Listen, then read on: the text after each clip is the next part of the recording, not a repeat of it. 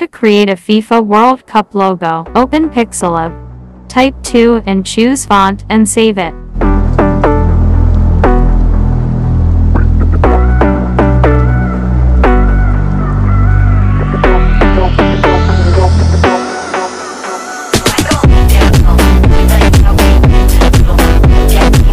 Then type 6 and again choose font and save it.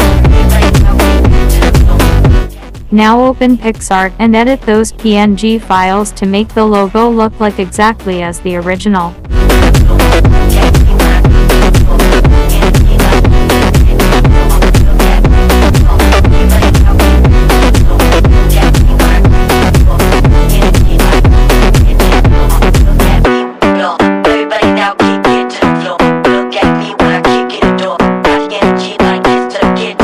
Now choose a black background.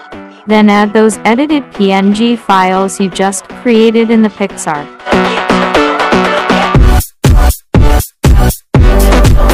Then add a World Cup trophy sticker and the FIFA title also from the sticker menu.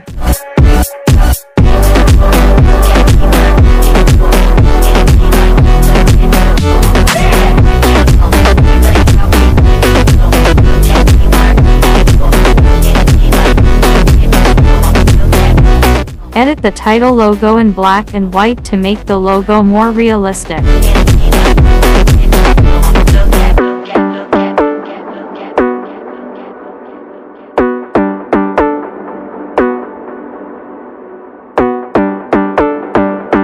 And finally add the trademark option.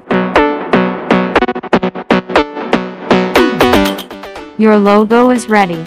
OMG. This logo is exactly looking like the original one. FIFA now you've to give me money for making the shittiest logo ever. Here is the original versus recreation comparison. Which one is looking good? Comment down below. Thanks for watching till the end. Share this with your friends. Bye.